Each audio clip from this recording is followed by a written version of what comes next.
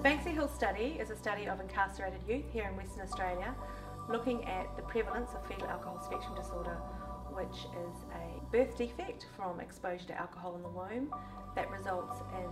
uh, lifelong disability and can affect how we remember things, how we behave and uh, how we make choices and make judgments.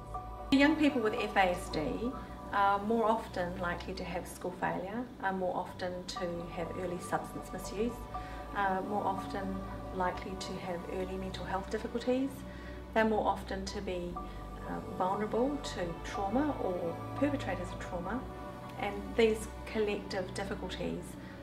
mean they're more likely to end up within the juvenile justice system.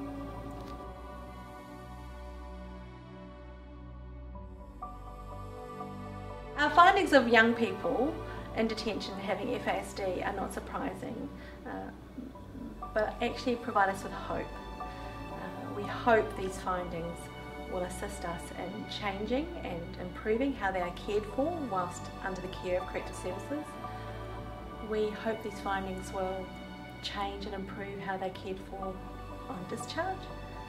and more importantly we hope it will change how they're cared for even before they become engaged with juvenile justice services at the early stages of their lives.